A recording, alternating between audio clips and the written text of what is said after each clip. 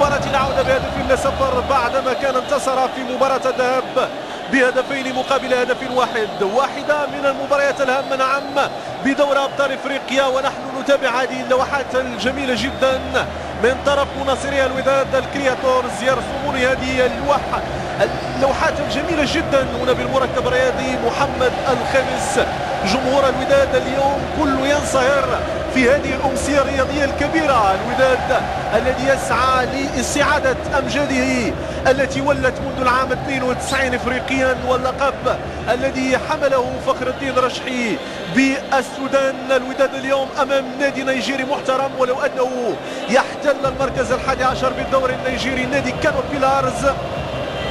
يسعى لتخطي هذا الدور وللتأكيد على أن الأندية المغربية ستكون حاضرة بكل ثقلها في المسابقات القارية وخصوصا في أغلى وأرقى الأحداث الرياضية إفريقيا دوري أبطال إفريقيا الذي يحمل لقبه نادي مازيمبي تو بويسون مازيمبي من الكونغو الديمقراطية بعدما فاز العام الماضي باللقب القاري الكبير. الوداد اليوم بأسطوله من اللاعبين وبنجومه الذين نتمكن نتمنى اليوم أن يقدموا ما يشفع لهم أمام هذا الجمهور الراقي جدا. حوالي 40 ألف مناصر يحضرون لمتابعة هذه المباراة من المركب الرياضي محمد الخامس جمهور راقي جمهور حضاري يتابع هذا الموعد الاستثنائي بكل ما في الكلمة من معاني. نعم الوداد اليوم مطالب بتحقيق ثلاث نقاط هامة وبتسجيل أكبر عدد من الأهداف لكي لا يكون أمام آه، ذكريات غير سعيدة بمدينة كانو النيجيرية التي ستحتضن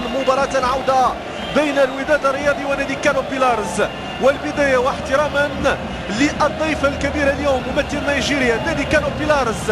يعتمد على تشكيله من الرسميين الذي يضم الحارس جويل جوفولوس رباعي خط دفاع ألدي محمد ألدي نازفي أماني عبد الوسيم شومي موريس تيغوسي رباعي خط الوسط روبن جابرو رابيو علي جوزيف تونسون فيكتور نامو وثنائي خط الهجوم جامبو محمد وموزيس أوغاغا. هذا هو التشكيل الرسمي لنادي كانو بيلارز.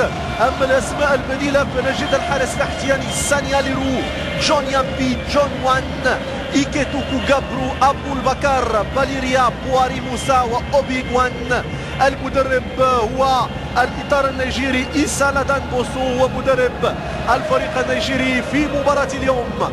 أما الوداد الرياضي فيعتمد على تشكيله الرسمي الذي يضم كل الأسماء التي تعودنا على رؤيتها في البطولة الوطنية. والبداية بالحارس نادي المياغري أيوب الخالقي خالد السقاط جمال العليوي. يوسف ربح بن ربح محمد أحمد أجدو مصطفى العلاوي نقيسيون داما فابريس منقار يونس وآخر اسم في تشكيلة رسمية للمدرب فخر الدين رشحي وأيوب سكوما. بدلاء الوداد في مباراة اليوم ورد